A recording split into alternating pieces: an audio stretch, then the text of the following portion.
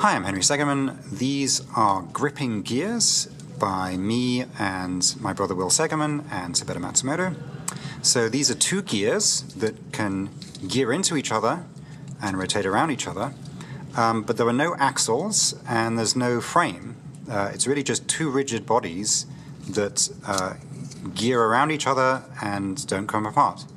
So, uh, so the way that this uh, keeps itself together, each of these gears has uh, these little arms that come over the top with a little cone that pokes down, and that cone goes into these grooves.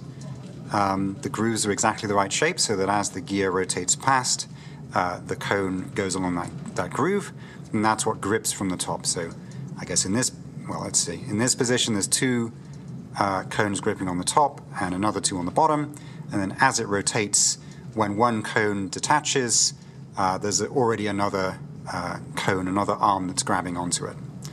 Um, so each of the parts is made up of uh, four layers.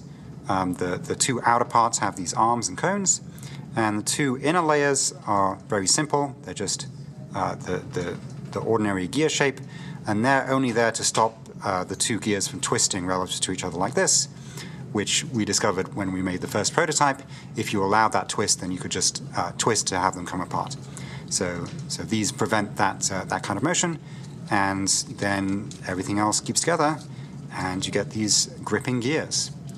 So next question is, what is this useful for? What else can you do with this? Um, hopefully more to come. So these are gripping gears. Thanks for watching.